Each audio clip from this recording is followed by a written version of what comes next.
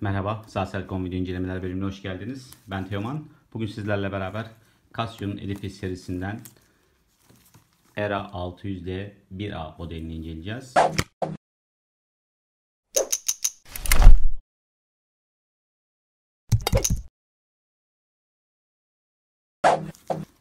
Casio'nun Edifice serisinin klasik paketlemesiyle geliyor. Üzerinde Edifice logosu bulunan karton bir paketimiz var.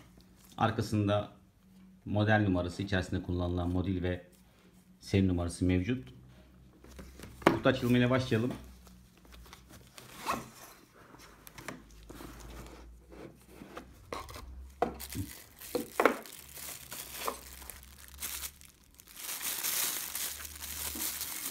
Jelatini ve koruma kulupları içerisinde saatimiz çıkıyor.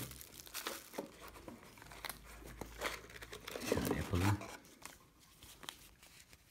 Türkiye distribütörlerin garanti belgesi ve standart kullanım kılavuzu var içerisinde. Ayrıca ayrıca uluslararası ve birçok dilde kullanım kılavuzu, uluslararası garanti belgesi ve hızlı olarak saatinizde ilk açtığınızda yapmanız gereken belirten bir açıklayıcı kılavuz kutunun içerisine çıkıyor. Kutuyu kaldıralım. Koruma jelatinini çıkarttık. Koruma yastığını da bir köşeye koyalım. Şurada temel olarak özelliklerin belirtildiği bir bölüm var. Süper illüminatör ışığı var. Aydınlatma. Sıcaklık ölçümü. 1'e 100 hassasiyetli kronometresi, dünya zamanları, geri sayım, 5 adet alarm, 100 metre su geçirmez özelliği ve paslanmaz çelik olduğu kasası ve kordon olduğu belirtilmiş. Gene burada model numarası içerisindeki kullanılan model ve barkod numarası mevcut.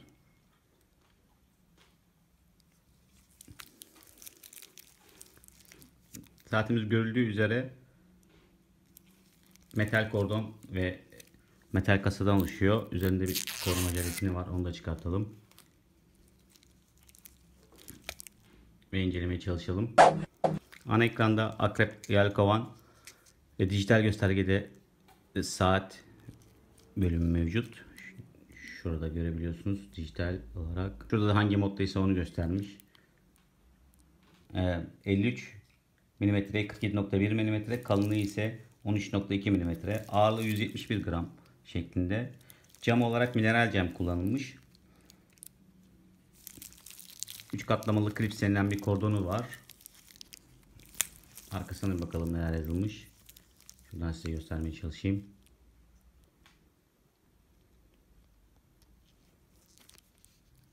Termometre özelliği, 1'e 100 kronometre özelliği ve tuşların tuşların hangi fonksiyonları çalıştırdığını gösterilmiş. Ve şurada bir hologram var. Kasyonel modelinde bu yok. Bu orijinalinin göstergesi ama üst segment modellerinde bu hologramı kullanabiliyor. Şurada da kullanılan modül numarası tekrar belirtilmiş. Modeli paslanmaz çelik olduğu suya karşı 10 bar yani yaklaşık 100 metre su geçirmez olduğu. Şurada seri numarası var. Modlarını incelemeye çalışalım. İlk önce dikkat ederseniz şurada değiştirdiğimiz zaman hangi moda geçtiğini gösteriyor. Zamanla başlayalım. Akrep veya yelkovan şu anda görüntümüzü engelliyor. Ayarlama işlemi şu şekilde yapabiliriz. Sol üst tarafına bastığımız zaman Adjust aktif oldu. İlk önce bulunduğumuz bölgeyi seçmemiz gerekiyor. Gördüğünüz gibi akrep ve yelkovan hareket etmeye başladı. Şurada da hangi bölgeyi seçmek istiyorsanız hangi saat dilimini onu seçebiliyorsunuz. Şöyle sağ tuşlarla ileri ve geri olarak ayarlıyoruz. Biz bulunduğumuz bölge itibariyle Yunanistan'ın Atina şehriyle aynı saat dilimindeyiz. Orayı seçebiliriz ayarlamak istediğimizde.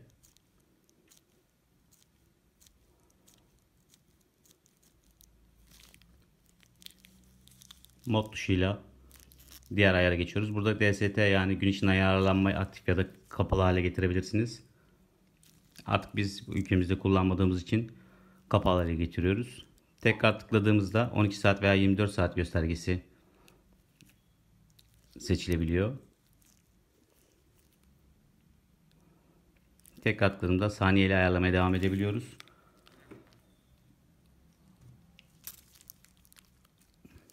Yanıp sönüyor zaten ayarlamak istediğimiz bölüm. Şurada saate geçti. Öğleden sonra 4 gibi göstermiş. Sağ sol tuşlarla hızlı hızlı ayarlayabiliriz.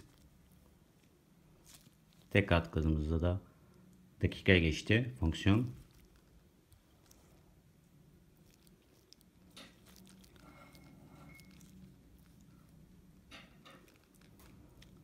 Mod dışıyla tarihe geçtik. 2017 yılında.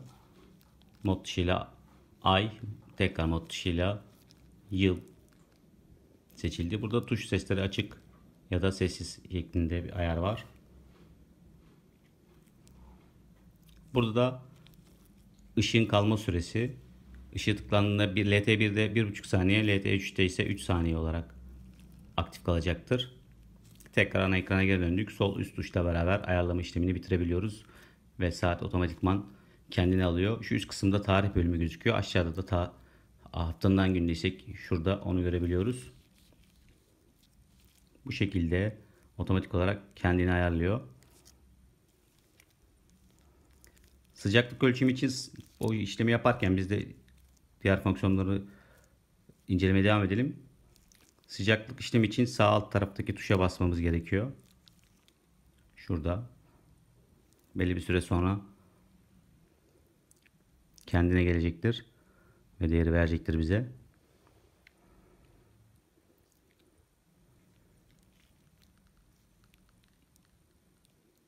Ayarlama işlemi saat kendini ayarladığımız saniye alsın. Şurada sıcaklığı gördü. Şu anda bulunduğumuz yer 29.6 santigrat derece şeklinde gösteriyor. Sağ üst tuşta ise illüminatör ışığı var. Ekranın alt tarafını şu şekilde göre, daha iyi görebilirsiniz. Olduğu gibi aydınlatıyor. Biz demin LT1'de bıraktığımız için 1,5 saniye sonra kendinden kapanıyor. Aynı zamanda kolu kaldırdığınız zaman otomatik aydınlatma özelliği de mevcut saatin. Sıcaklık kalibrasyonu için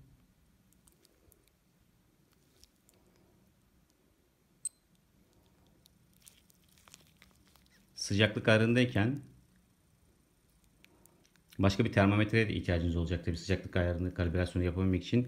Sıcaklık ayarındayken sol adjust tuşuna bastığımızda bulunduğumuz bölgenin sıcaklığı başka bir termometreyle ayarlayıp şuradaki değeri başka metre, diğer termometrenin gösterdiği güvendiğimiz bir termometrenin gösterdiği değeri alarak kalibrasyon işlemi tamamlamış oluyoruz. Tekrar adjust tuşuna bastığımız zaman artık o değere göre yapacaktır. Bu işlemi oda sıcaklığında başka bir termometre ile yapmanızda fayda var. Oda sıcaklığında bırakıp ölçmüş olduğunuz ayarı biraz önce gösterdiğim şekilde ayarlarsanız kalibre olmuş olacaktır. Diğer özellik kronometre özelliği. Sağ alt tuşla başlıyor, durduruluyor. Sol üst tuşla beraber de sıfırlanmış oluyor. Diğer fonksiyonumuz geri sayım aracı. Gene sağ alt tuşla başlayıp durdurup sol üst tuşla beraber sıfırlanmış oluyor. Şurada tekrar gösteriyorum. Hangi zamandaysa konu görüp hangi fonksiyondaysa konu görebiliyoruz. Dünya saatleri bölümü var. Saatinizi ayarladıktan sonra şuradaki görmüş olduğunuz şehirlere göre saati size gösterecektir. Alarm fonksiyonu şu anda kapalı. İkinci alarm, üçüncü alarm, dördüncü alarm. Sunuz tekrar etme özelliği ve sinyal saat başı sinyal özellikleri buradan ayarlanıyor. Bu işlemleri gene adjust tuşuyla yapabilirsiniz.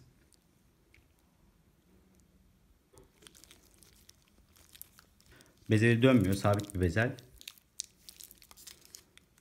Dünya saatleri 31 saat e, zaman dilimini gösteriyor. Yani bu 48 şehri tekabül ediyor. Alarm biraz önce görmüştük. 5 tane alarm var ve bir tane ertemeleri olan alarmımız var.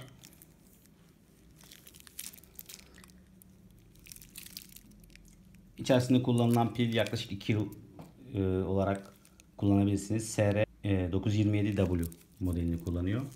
Bu özellikleri zaten aşağı kısımda belirtmiş olacağız. Bilekte de nasıl durduğuna bir bakalım. Bilekteki şekli şu- bu şekilde.